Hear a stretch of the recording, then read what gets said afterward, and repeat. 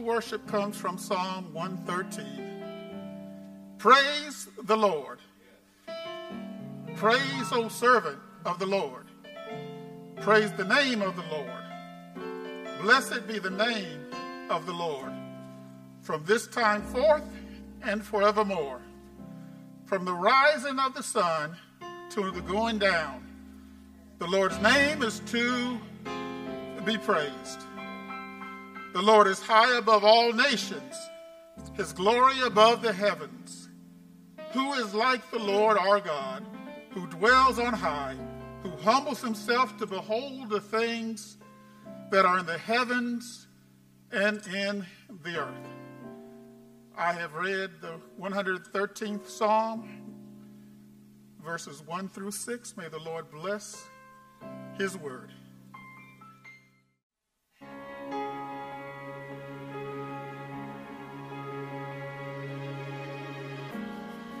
You called me from the grave by name.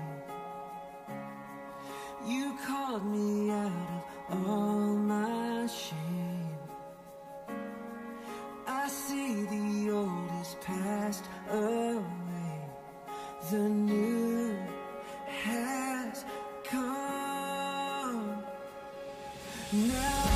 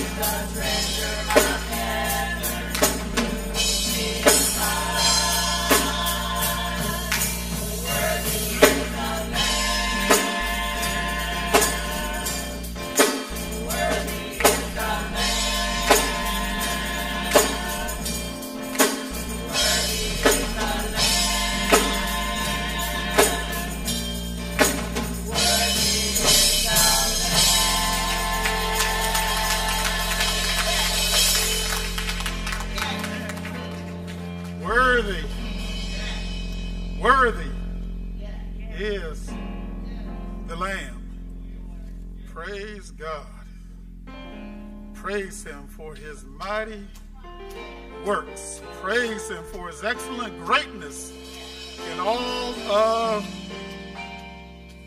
the earth. Amen.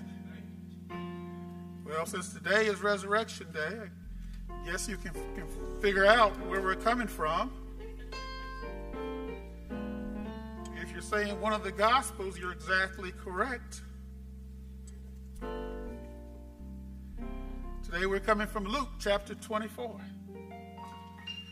Luke chapter 24.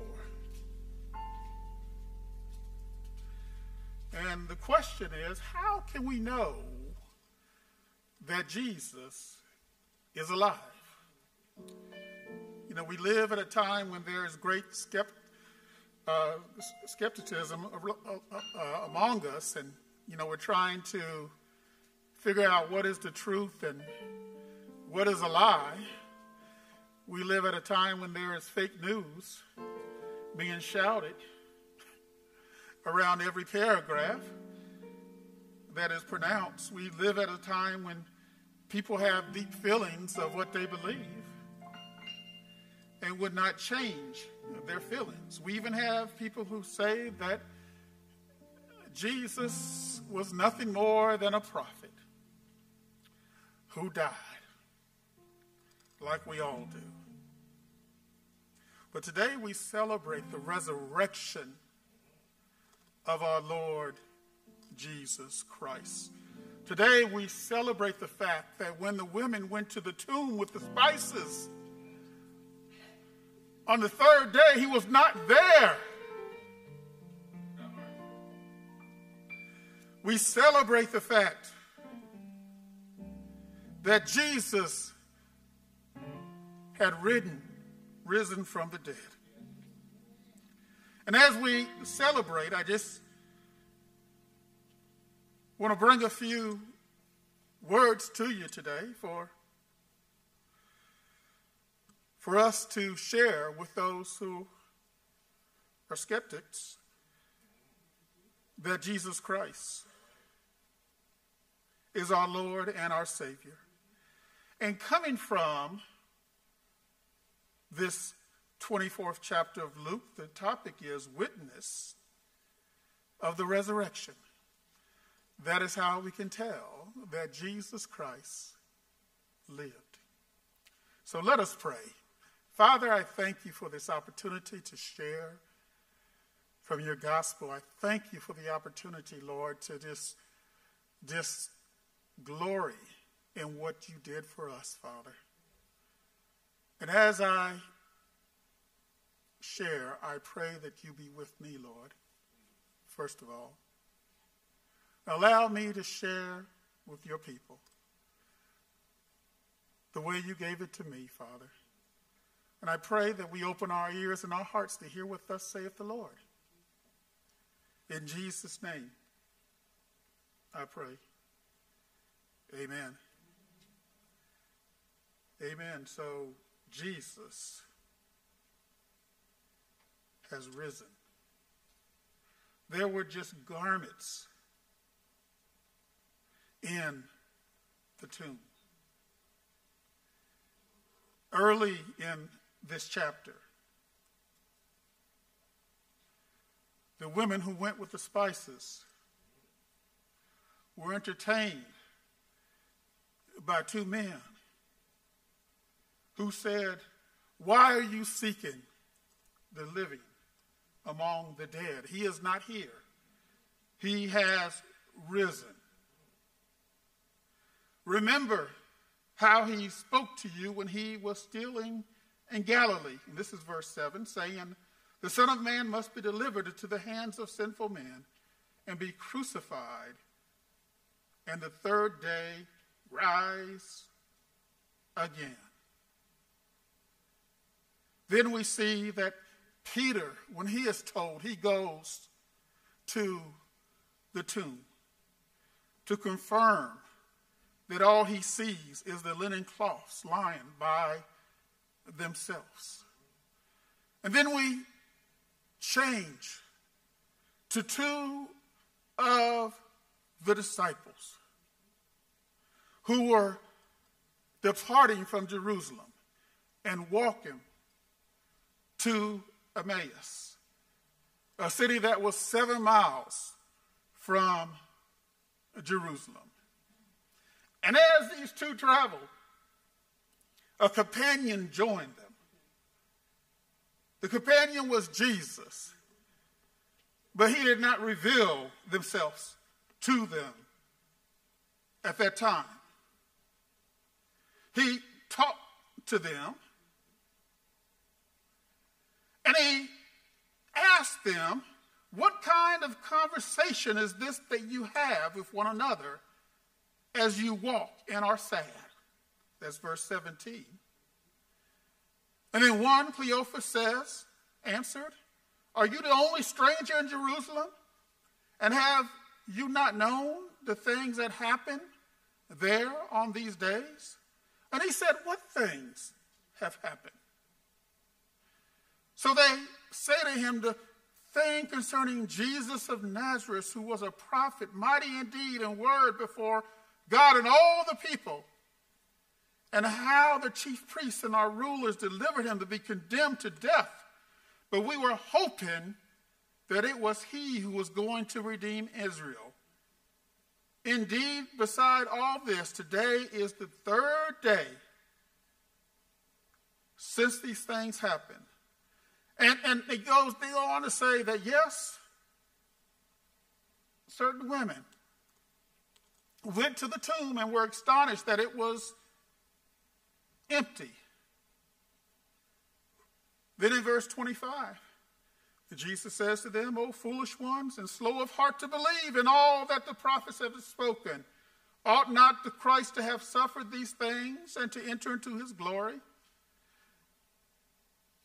Enter into his glory. And then as they drew near the village where they were going, Emmaus, he indicated that he would have gone further, but they constrained him, saying, And Abide with us, for it is towards evening, and the day is far spent. And he went in and stayed with them. It goes on to tell us now, as it came to pass, as he sat at the table with them, that he took bread, blessed and broke it, and gave it to them. Then their eyes were opened, and they knew him, and he vanished from their sight. And they said to one another, Did not our heart burn within us while he talked to us on the road and while he opened the scriptures to us? Eyewitnesses to the resurrection. You know, in the court of law, if you want to prove something, if you have an eyewitness, that is much better than hearsay or secondhand opinion. So, as we look at verse 33, is where this message starts. We will see three things in this passage. Number one, the report of the resurrection. Number two, the proof of the resurrection. And number three, the reason for the resurrection. It said in verse 33 So they rose up that very hour. These are these two disciples on the road to Emmaus. They've come to Emmaus. They have dined with Jesus, and Jesus revealed himself to them and disappeared. And on that same hour, it was evening time, it was time to rest. But on that same hour, they rose and returned to Jerusalem. You know, when you have an encounter with Jesus, you are no longer tired. It don't matter what the hour it is. You got to praise. You've got to praise. So think about it. They have spent the day walking seven miles to get to their destination. And they have an encounter in the evening with Jesus. And they are so excited that they got up that same hour to return to Jerusalem, to walk another seven miles. And they found the eleven and those who were with them gathered together. They found the disciples who were gathered together. And they said in 34, The Lord is indeed risen and has appeared to Simon. When they told about the things that had happened on the road and how he was known to them in the breaking of the bread. This is an eyewitness account of the resurrection. They knew he had risen because they saw him. They knew he had risen because Mary saw him. They knew he had risen because Peter and John had also saw him. The disciples now had at least three reports of the resurrection, but they still didn't understand. They still, we can hear the reports, my brothers and sisters. But until we experience it ourselves, we don't fully comprehend the full scope of what's being said. Think about it. Somebody telling you somebody has risen from the dead. They walked with Jesus. They talked with Jesus. They prayed with Jesus. They witnessed Jesus doing his miracles for three years, but still they could not comprehend. My brothers and sisters, I don't care how long you've been reading the Bible, unless you have an encounter with Jesus, you have just taken a history lesson through time. But once that encounter with Jesus comes, it makes a difference. So there was a report of the resurrection, an eyewitness report. And it was two of them so that they could confirm each other's story.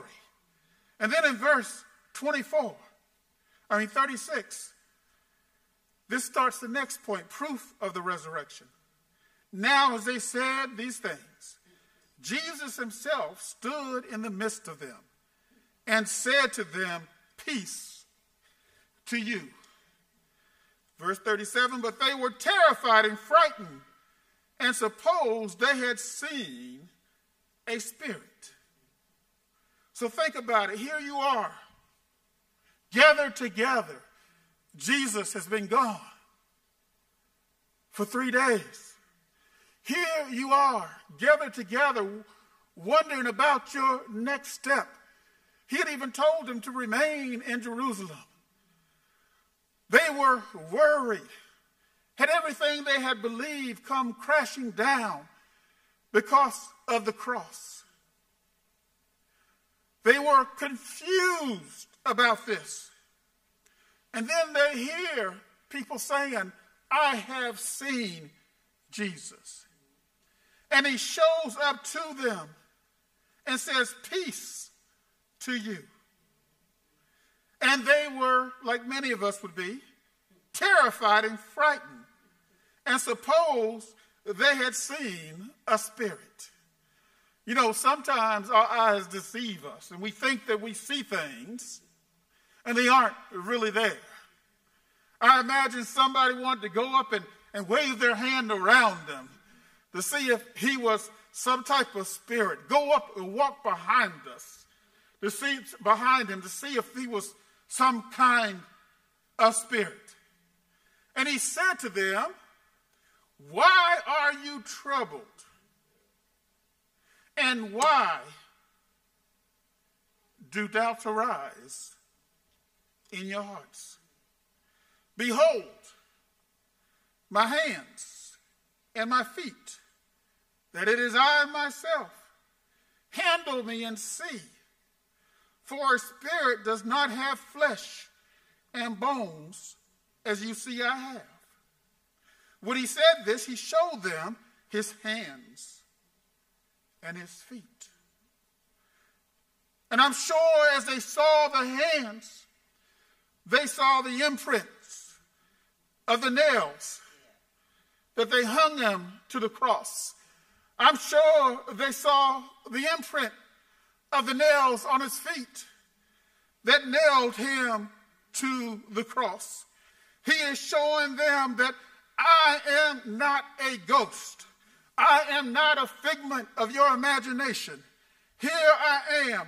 Look at my hands. Look at my feet. Verse 41 says, But while they still did not believe, for joy and marveled, he said to them, Have you any food here? So they gave him a piece of a broiled fish and some honeycombs, and he took it and ate in their presence. As I would read this, I always wondered, you are Jesus. So why are you hungry? But I realized he did not do that for himself.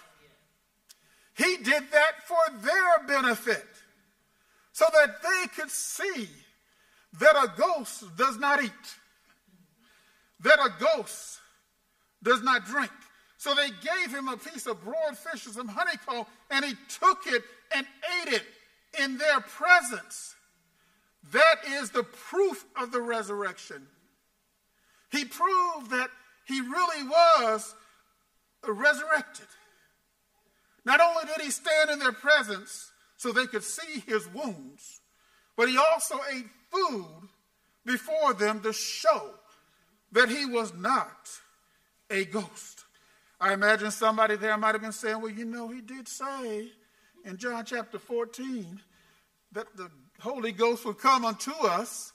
So is this the Holy Ghost or is this Jesus?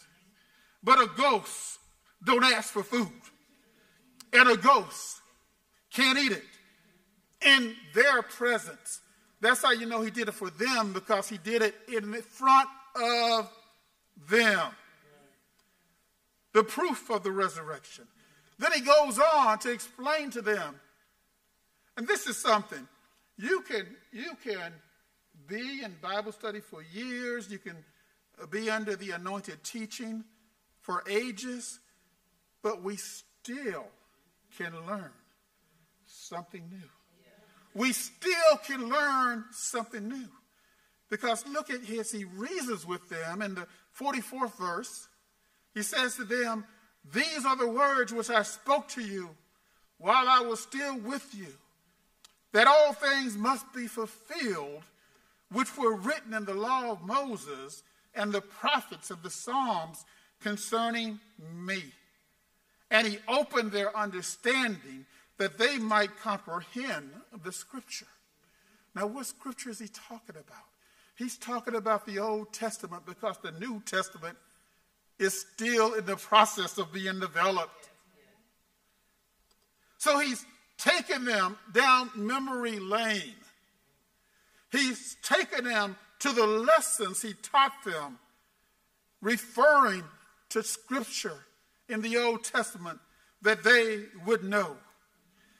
Just like the student who can stay in class all semester but not comprehend the teachings of the teacher. These disciples did not comprehend what Jesus had been telling them about him and what he must do. So not only did he show proof through his body, but also he showed his followers that all these facts were written in the Old Testament about the Messiah. Now I could spend a couple of hours going through all the references of Jesus in the Old Testament, but this is not that day. Amen? So I will just share a few with you today. Deuteronomy 18 15. This is Moses talking to the children of God. He said, The Lord your God will raise up for you a prophet like me from your midst, from your brethren. Him you shall hear. That's a reference of Jesus Christ, who came as a descendant of David, of King David. We go to the Psalm. We see Psalm 2, verse 7. I will declare the decree. The Lord has said to me, You are my son. Today I have begotten you. Who has been begotten? our Lord and Savior, Jesus Christ. Keep it in Psalm, Psalm 16, verse 10. For you will not leave my soul in Sheol or hell, nor will you allow your Holy One to see corruption. He's talking about the coming Jesus Christ. Hell could not hold him. There was no death for him. We go on to Psalm 22, verse 14, starting at verse 14, where the writer said, I am poured out like water, and all my bones are out of joint. My heart is like wax, it has melted within me. My strength is dried up like a potsherd, and my tongue clings to my jaws. You have brought me to the dust of death, for dogs have surrounded me. The congregation of the wicked has enclosed me. They pierced my hands and my feet. I can count all my bones. They looked and stared at me. They divided my garments among them, and for my clothing they cast lots. Isn't that what happened to Jesus? On the cross? On the cross, when they mocked him by draping him in royal purple, in a royal purple robe. Purple is the color of royalty. And they cast lots for his robe. Because in their minds, the soldiers said he's not going to need it very long. So we can use this. I take it to Isaiah's prophecy, Isaiah 53, starting at verse 5. But he was wounded for our transgressions, he was bruised for our iniquities. The chastisement for our peace was upon him, and by his stripes we are healed. All we like sheep have gone astray. We have turned everyone to his own way, and the Lord has laid on him the iniquity of us all. He was oppressed and he was afflicted, yet he opened not his mouth. He was led as a lamb to the slaughter, and as sheep before its shearers is silent, so he opened not his mouth. And I want to skip down to Isaiah 53, verse 12, where it says, He poured out his soul unto death, and he was numbered with the transgressors, and he bore the sin of many and made intercession for the transgressors. He was hung on a cross, accompanied by two thieves on each side. One asked for forgiveness. And Jesus said, Today you will be with me in paradise. The other one did not forgive, did not ask for forgiveness. And we know or have a pretty good idea where he went. But the thing is about that is, it's never too late. It is never too late. I've talked to individuals say, I've done too much bad in my life to be worthy of forgiveness. And I think that's what happens when we see ourselves the way we see ourselves. But if we just see ourselves as God sees us, He sees us as another opportunity of a child to be redeemed Yes, that child has been beaten, that child's been bruised, that child has done bad things, but they can still be redeemed. Even if it's with your last breath on the cross. That's why he came to redeem us from our sinfulness, to be that substitute for us. Through his death, we have eternal life. So, as Luke 24 45 says, he opened up their understanding that they might comprehend the scripture. They were familiar with the scripture, they just couldn't comprehend the scripture. There's a difference between being familiar with something and actually understanding something. Truth be told, I took some classes in college that I had to take because they said it was part of the curriculum. Did I comprehend fully what they were talking about? No. Did I have intentions to comprehend fully what they were talking about? No. But the classes I was interested in, those were the ones that I really applied myself to and really listened. And I can still remember some of these lessons until today. It is not until we are interested that we can start comprehending the power of God, the work of God, the might of God, the omnipresence of God, the omnipotence of God. We cannot understand that until we start to have the desire to understand and to appreciate what He's done for us. And that's when we can really appreciate what He's done for us. Then in Luke 24, verse 46, then He said to them, Thus it is written, and thus it was necessary for Christ to suffer and rise from the dead the third day.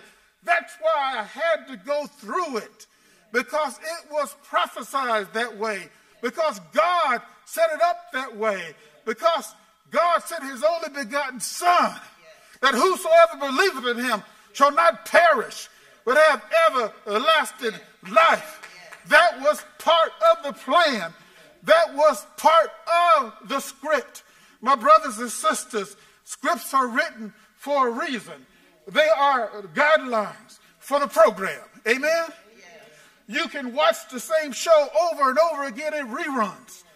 But the situation and the ending is not going to change because that's the way the script was written. We can write our own ending, but it won't change the fact that the program is going to be what the program was.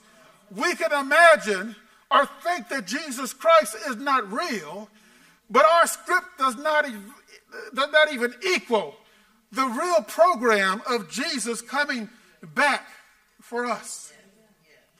So he had to suffer and to rise from the dead the third day.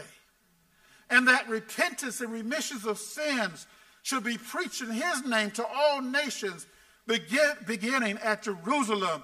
And you are witnesses of these things. He's telling them that you are witnesses. And I'll give you a spoiler alert. They still did not fully comprehend until the Holy Spirit came in the book of Acts and it fell upon them. And then their eyes were open. Then they understood. Then they could appreciate. Once the Holy Spirit came, Peter went from somebody who was denying Christ to somebody who preached the greatest sermon that you ever see in the Bible, in the book of Acts. That's what a relationship with God can do you, do for you. Can change us from who we think we are to who God sees us as. And you are witnesses of these things. He showed them from different parts of the Old Testament that he is the Messiah and that he must suffer and rise from the dead.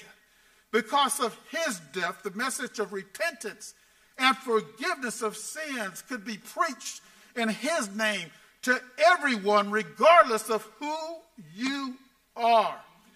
This is the foundational thought for Luke's book, second book of Acts. The resurrection is a reality. The resurrection is a reality. Number one, the resurrection declares Jesus of Nazareth to be the Son of God. Him being a Messiah was no longer a matter of faith, but it was a matter of fact. The resurrection declared Christ to be the sinless Savior because he died. His, he was a substitute for our sinfulness. Number three, the resurrection assured the apostles that Christ was a divine Savior who had died for their sins and arose that they might have life. Earlier on in the Gospels, the wise, the wise priest, teacher, Gamaliel, he tried to calm the priests who were after Jesus so hard. He tried to slow their roll by saying others have come saying they were the Messiah. And we see what happened to them. It fizzled out. But he said, if this is real, there is nothing you can do to stop it. You might think you're slowing it down, but you're playing in to God's plan. And that's what they did. They crucified him. They celebrated. They celebrated that he had the death sentence, but they didn't realize that they were just playing in to God's hand. Somewhere along the way, they had not fully comprehended their, their lessons in divinity school. Somewhere along the way, they did not fully comprehend the Old Testament and what it talked about the coming Messiah. Somewhere along the way, they lacked complete understanding. But today, my brothers and sisters, we know the rest of the story. Today, my brothers and sisters, we were not there at that time to witness this event, but we can see the eyewitnesses, the report of the eyewitnesses. And I, and I want to share with us, with you for a second, from 1 Corinthians 15, when Paul wrote the letter to the church in Corinth. And he's talking about the reality of the resurrection. And, and let me just read this. He says in first verse of 15, 1 Corinthians, Moreover, brethren, I declare to you the gospel which I preached to you, which also you received, and which you stand, by which also you are saved, if you hold fast that word which I preached to you, unless you believe in vain. For I delivered to you, first of all, that which I received, that Christ died for our sins according to the scriptures, and that he was buried, and that he rose again the third day according to the scriptures, and that he was seen by Cephas, then by the twelve. After that, he was seen by over 500 brothers at once, of whom the greater part remain at the present, but some have fallen asleep. After that, he was seen by James, then by all the apostles. Then, last of all, he was seen of me also, as by one born out of due time. And he goes on to say, that I'm a least of the apostles, who was not worthy to be called an apostle, because I persecuted the church of God. But by the grace of God, I am what I am. And his grace towards me was not in vain, but I labored more abundantly than they all, yet not I, but by the grace of God which was with me. So, what Paul is doing is giving a history lesson of the witnesses to the resurrection. He talks about the 500 who saw Jesus after he was resurrected. And he said that some of them are still alive at the time that he's writing this letter. So, if you need some proof, seek out some of the eyewitnesses. And here's how I know that I can believe the eyewitnesses because the church was heavily persecuted after they became Christians and started preaching this Jesus Christ. Apostles were killed and martyred for their belief in Jesus Christ. Many saints were killed because they would not deny Jesus Christ. Now, in my understanding, you might have a few people who will die for a lie, but you're not going to have a whole lot of people who are going to die for a lie. So we have in Scripture all that we need to know about the reality of the resurrection. We have in Scripture all we need to know that Jesus Christ is alive. We have the witnesses. But not only that, we have the opportunity to have Jesus in our hearts, walking with us, talking with us, guarding us, putting a hedge of protection around us, keeping us, saving us, so not only that, we know that Jesus is real because he's real in me. So therefore, I wrote this message as an answer to those who did not believe that Jesus is real. Those who cannot comprehend the fact that somebody rose from the dead. There are some folks who will not believe you no matter what you say. There are some, like Thomas, who was not there with the disciples at that time, who came later and they said, uh, We've seen Jesus. And Thomas said, I don't believe it. I'm not going to believe it unless I can uh, see him for myself and thrust my hand into his side where his wound was. I'm not going to believe it. Jesus showed up and showed him, my Lord and my God. you know, that's the reason he was called Doubting Thomas. because he doubted. He was not there when he showed himself to the disciples, but he showed up later. And even though they told him what had happened, he said, I still don't believe it. We will always have unbelievers among us. But just because we have unbelievers among us does not mean that we quit trying to share Jesus with them. We can do it by word, we can do it by deed, we can do it by activities. We're sharing Jesus with them. That's why we are called Christians, because we act like Christ. So that Jesus in me is what I want you to see. Because they confirm the words that come out of my mouth. They confirm the words that come out of the scripture. Witness the resurrection. As I said at the beginning, we live at a time where people do not want to believe things happen. We see people who could be confronted with video evidence of situations that happen, but still they refuse to believe. There will always be unbelievers among us. But we need to stand on our faith because our relationship is a one on one relationship with our Lord and Savior Jesus Christ. I have no hell or heaven to put anybody in, for I'm still working on myself. I am still a work in progress. And that's a good thing. We always need to be reminded that we are a work in progress. Once we think that we have arrived, we are no longer any good for Christ. So we always need to think of ourselves as a work in progress. There's always more to learn, more opportunities to work, more opportunities to serve, more studying to be done, and, and just, just bask in the glory of what God has done for us.